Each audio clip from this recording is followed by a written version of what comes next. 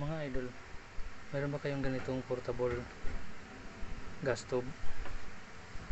Ito, na hindi na ginagamit, naka-stock na. Baka ganito ang problema niya mga idol. Ito, ang problema nito mga idol ay ayan o.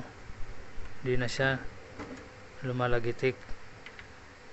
Kasi dapat ito'y lumalagitik, nagsiswitch siya mga idol. Ano nga ba ang problema nito? Pag ganito ang problema. Magagamit pa kaya natin? Okay. Panoorin niyo mga idol kung paano natin to i-check. I-check natin mga idol ito. Ito. Yung ano niya. Yung mga idol. Ito. Ito yung ignition switch, pinaka-ignition switch niya mga idol. Paano nga ba tatanggalin yan? Paano natin makikita? Okay. Ito lang mga idol.